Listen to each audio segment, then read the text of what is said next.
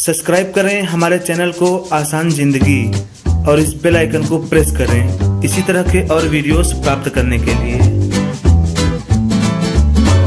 नमस्कार, मैं शारदा पांडे, आसान ज़िंदगी की इस एपिसोड में आपका स्वागत करती हूँ।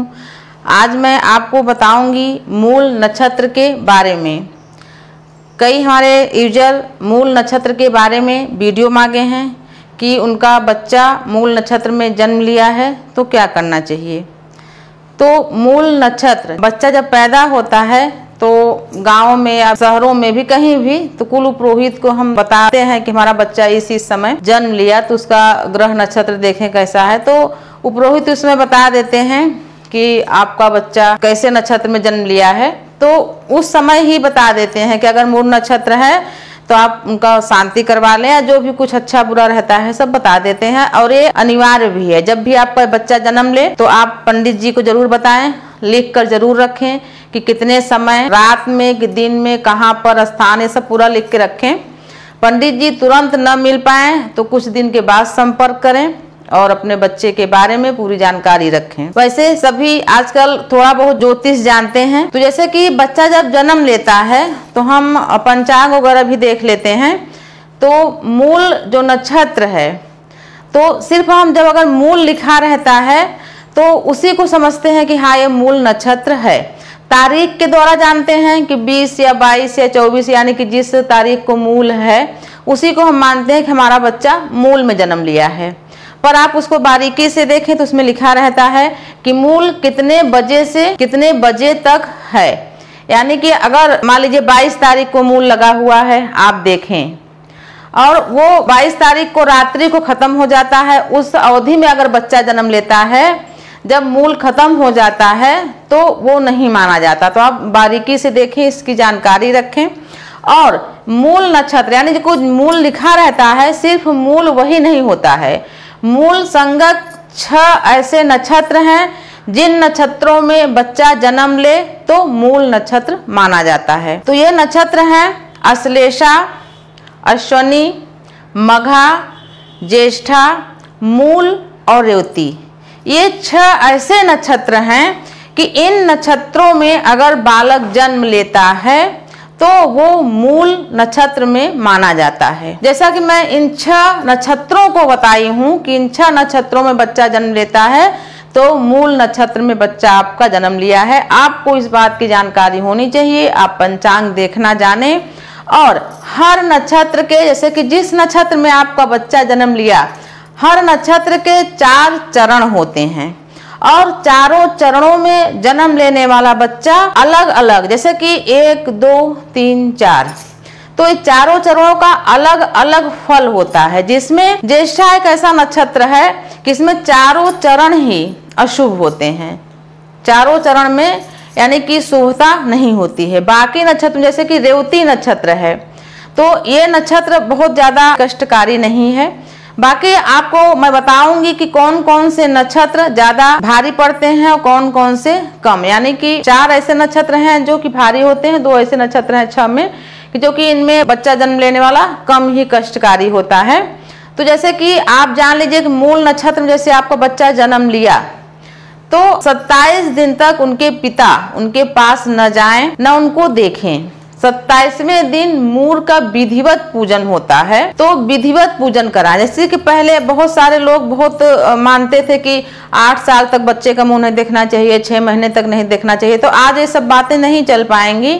तो सत्ताईस दिन ही न देखे मुँह और सत्ताईसवें दिन विधिवत पूजन करा के और मूल शांति करा के तभी बच्चे का मुँह देखें। ऐसा मतलब मान्यता है। तो मैं आपको बता रही हूँ कि कौन कौन से छह नक्षत्रों में बालक जन्म लेता है तो वो मुरहा बालक, यानी कि मूर से ग्रसित और पीड़ित बालक कहलाता है। तो मैं आपको बताऊँगी कि चार ऐसे नक्षत्र जो हैं, जो कि भारी हैं, दो ऐसे नक्षत्र हैं जो कि हल्के हैं। चार जो भारी हैं, अश्लेषा, मघा, ज्येष्ठा और मूल। ये चार नक्षत्र हैं जो कि इनमें अगर बालक जन्म लेता है तो वो काफ़ी भारी माना जाता है। और दो अश्वनी और रेवती ये हल्के माने जाते हैं। लेकिन अगर जैसे कि मैं आपको बताऊँगी आगे कि चरण होते हैं चार चरण, हर नक्षत्र के चार चरण होते हैं तो आप जैसे अपने बच्चे का कुंडली बनवाए हैं या आप अपनी कुंडली बनवाए हैं तो आप जब वो पहला पन्ना होता है, आप उसमें देखेंगे तो नक्षत्र और बच्चे का राशि का नाम किस अक्षर से रखा जाए वो लिखा रहता है। नक्षत्र क्या है और नक्षत्र चरण लिखा हुआ रहता है, यानी अंक में एक, दो, तीन, चार। तो आप ये देख लें कि आपका बच्चा किस चरण में पैदा हुआ है, यानी कि कितने भारी या कितने हल्के योग में पैदा हुआ है। अगर भारी योग है तो उसका थोड़ा सावधानी पूर्वक शांति कराया जाता है। जैसे कि रेवती और शनि नक्षत्र में जन्म लेने वाला बच्चा, शांति तो कराना ही चाहिए सब नक्षत्र का। जैसे कि मान लीजिए जो सोनी और रेती जो बता रही हूँ, आपको इनके चरण भी देख लीजिए किस चरण का है। और जो भारी मूल है, इनका भी देख लीजिए और आप विधिवत इनका पूजन कराइए। जब आप नक्षत्र को देखोगे और चरण को देखोगे तो आपको उनकी गंभीरता और उनकी कोमलता है, ये आपको पता लग जाएगा। तो मैं आपको बता रही हूँ मूल नक्षत्र के बारे में, और आप बिल्कुल भयभीत न हो। ये सब चलता रहता है मूल नक्षत्र, त्रिखल दोष और काल सर्फ दोष और तमाम जितने दोष हैं, पितर दोष ग्रहण दोष यानी कि सूर्य, चंद्रमा एक साथ रहे तो मान लीजिए आपकी कुंडली में, आपके बच्चे की कुंडली में तो आप मान लीजिए कि आपका बच्चा ग्रहण के समय जन्म लिया है तो उसकी भी शांति कराना। तो ये जब अगर दुर्योग हैं तो इनकी शांति भी है, पूजा भी है, दान भी है, ये सब करके इनको पूरी तरह से ठीक किया जा सकता है। तो मैं आपको जो नक्षत्र हैं, इनके चरण के बारे में क्रम से बता रही हूँ। जैसे मान लीजिए आपका बच्चा अश्वनी नक्षत्र में पैदा हुआ तो मूल नक्षत्र माना जाएगा। जैसे कि सामान्य सा नक्षत्र है तो इनमें जैसे पैदा हुआ तो आप चरण देखें कि किस चरण में पैदा हुआ। एक, दो, तीन, चार, यानी कि नक्षत्र के आगे लिखा रहता है। तो मान लीजिए आपका बच्चा पहले चरण में पैदा हुआ अश्वनी के तो ये पिता के लिए कष्टकारी होता है। दूसरा चरण है अगर तो ये सुख और ऐश्वर्य बच्चे को प्राप्त होता है जीवन में।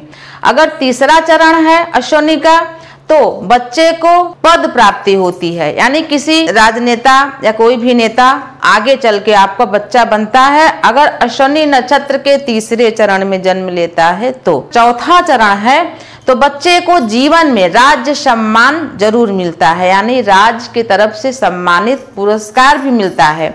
ऐसा नहीं है कि मूल नक्षत्र हर तरह से खराब ही होते हैं। तो आप अपने बच्चे का चरण देखिए, नक्षत्र का, कि क्या क्या चरण है। और इन सब के बाद भी अपने कर्म पर पूरी तरह से जीवन आधारित रहता है। यानी कि कभी कोई पंडित जी बता देते हैं कि तुम्हारा कुंडली में बहुत अच्छा योग है, राजयोग है, ये सब है। तो माँ बाप और बच्चे फूले नहीं समाते, फिर बोलते हैं, योग है ही तो वो तो मिलेगा ही। आप ऐसा कभी मत सोचिए, आप अपने कर्म को अच्छा बनाए रखिए, सुदृढ़ बनाए रखिए और अपने कर्म जो कार्य है वो लगातार करते रहिए। आपके मार्ग में कभी भी रुकावट नहीं आएगा और आपको वो सब मिलेगा जो पंडित जी बताते हैं या जो आपकी कुंडली में रहता है। कभी कभी ऐसा होता है कि हर कुछ अच्छा बताने के बाद कर्म खराब होने पर सब उल्टा हो जाता है कुछ भी नहीं मिलता। उसी प्रकार से मैं आपको अश्लेषा नक्षत्र में जन्म लेने वाले बालक का चरण बता रही हूँ कि अश्लेषा नक्षत्र में अगर बालक जन्म लेता है तो वो पिता के लिए कष्टकारी होता है, माता के लिए भी कष्टकारी होता है, और वो धन भी नाश करता है। अंत में जीवन के उसको सुख मिलता है। ये अश्लेषा नक्षत्र के चारों चरण के शुभ और अशुभ प्रभाव में आपको बताई हूँ। अगर मघा नक्षत्र में पहले चरण में बालक जन्म लेता है तो माता के लिए कष्टकारी होता है। दूसरे चरण में जन्म लेता है तो पिता के लिए कष्टकारी होता है। तीसरे चरण में अगर जन्म लेता है तो वो सुखी रहता है।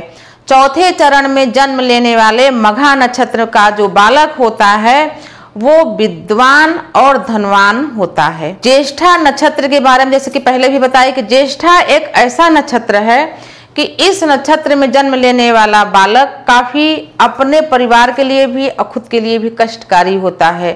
जबकि बालक जानबूझ के कष्ट किसी को नहीं देता है। ज्येष्ठा नक्षत्र में जन्म लेने वाला बालक यानी अगर पहले चरण में जन्म लेता है तो वो बड़े भ्राता के लिए यानी बड़े भाई के लिए कष्टकारी होता है। दूसरे नक्षत्र में जन्म लेने वाला बालक अपने अनुज के लिए कष्टकारी होता है, यानी कि छोटे भाई के लिए कष्टकारी होता है।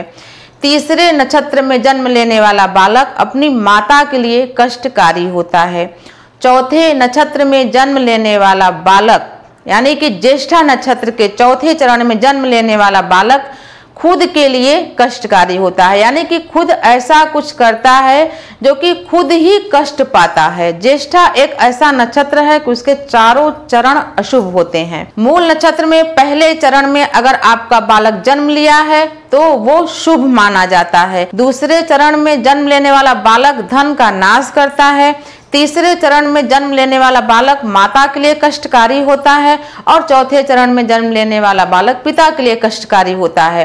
जैसा कि आप देखते होंगे कभी कभी बच्चे माता से ज़्यादा क्लोज रहते हैं, माता से ज़्यादा पढ़ती है और पिता से शत्रुता रहती है तो इन्हीं कई कारणों से ऐसा होता है, ऐसे योग होते हैं जो कि उस जातक से वो कर्म करवाते हैं जो कि ग्रह द्वारा पीड़ित रहते हैं। आपका बालक अगर रेवती नक्षत्र के पहले चरण में जन्म लिया है तो उसको राज सम्मान प्राप्त होता है। अगर दूसरे चरण में जन्म लिया है तो उसको सम्मानित पद की प्राप्ति होती है। यानी कि जो कि सम्मान भी मिले अच्छा पद भी रहे। कोई भी नेता हो, कोई भी कुछ अच्छा पद हो, राज्य के तरफ़ से, वो आपके पुत्र को या पुत्री को मिलता है। तीसरे चरण में बालक जब जन्म लेता है तो वो धन से सुखी और समृद्ध रहता है। चौथे चरण में जन्म लेने वाला बालक कष्ट पाता है और दुखी रहता है। ये है रेवती नक्षत्र के चारों चरणों के बारे में। तो आप मूल नक्षत्र की जो विधिवत पूजा है, शांति है, दान है, ज़रूर कराएँ। अगर आपका बच्चा पीड़ित रहेगा तो आप भी पीड़ित रहोगे। और जो बालक जन्म लेता है, वो अपने परिवार के साथ साथ ननिहाल के परिवार के लोगों को भी, जो खून के संबंधित हैं, उनको भी पीड़ा पहुँचती है। यानी कि संबंध, जो खून के रक्त संबंधी है, सबको पीड़ा पहुँचती है। तो जैसे कि मैं आपको बताई जानकारी बार बार बता रही हूँ कि आप देखें कि आपका बच्चा इन छह नक्षत्रों में, जो मैं छह नक्षत्र बताई हूँ, इन छह नक्षत्रों में किस नक्षत्र में जन्म लिया है? तो आप उस नक्षत्र के स्वामी का, यानी जब आप पंडित जी से संपर्क करोगे तो बताएँगे, उस नक्षत्र के स्वामी का सोने या तांबे का भर हुई छोटी सी मूर्ति बनवाएँ। जैसा कि मैं सभी पूजा में बताती हूँ, कलश स्थापना। बिना कलश के कोई भी पूजा शुभ और सफल नहीं मानी जाती। ये जो मैं आपको पूजा बता रही हूँ, लघु पूजा मैं सिर्फ़ बता रही हूँ, आपके पंडित जी पूजा कराएँगे, आपको भी थोड़ी सी जानकारी होनी चाहिए। तो कलश स्थापना करेंगे, उसमें एक पात्र रखेंगे तांबे का, और उसमें सोने या तांबे की, उस नक्षत्र के स्वामी की मूर्ति रहेगी। और उस कलश कटोरी में स्थापित कर देंगे मूर्ति को बन्याष्टदल कमल वगैरह बना के, और पान पर गौरी गणेश को भी आवाहन करेंगे। गौरी गणेश से ही सारी शुभता बनी रहती है, उनसे भी आशीर्वाद लेंगे। विधिवत पूजा करके, पंडित जी जो जो सामान आपको बताएँ मूल शांति के लिए, और छाया दान वगैरह सब होता है, वो सब करवाएँ। पूजा करके और जो मूर्ति का मैं बताती हूँ पूजा, वो उन्हीं उपरोहित को दान कर दिया जाता है। अगर आप समृद्ध हैं, संपन्न हैं तो छोटी सी भर हुई मूर्ति सोने का बनवा लें और नहीं तो सोनार के यहाँ तांबे की भी मूर्ति बनवा सकते हैं। जिस नक्षत्र में आपका बालक जन्म लिया है उसी नक्षत्र के स्वामी का मूर्ति बनवा के विधिवत मूल शांति करवाएँ और उन्हीं पुरोहित जी को दान देकर उनका चरण स्पर्श करें, ब्राह्मण भोजन कराएँ और जितना आपसे बन सके ब्राह्मणों को, गरीबों को दान देकर अपने संतान के लिए आशीर्वाद की प्राप्ति करें, आशीर्वाद पाएँ। मैं आपको बताई हूँ, मूल नक्षत्र के बारे में विधिवत आप अपने कुल पुरोहित से संपर्क करें और बिल्कुल भी चिंता ना करें तो हमारे साथ बने रहें। आपको हमारे वीडियो से अगर कुछ लाभ होता है, जानकारी प्राप्त होती है तो आप अपने भी जानकारों को, हमारे वीडियो को शेयर करें और लाइक भी करें। और हमारे साथ बने रहें। देखते रहें आसान ज़िंदगी। तब तक के लिए नमस्कार।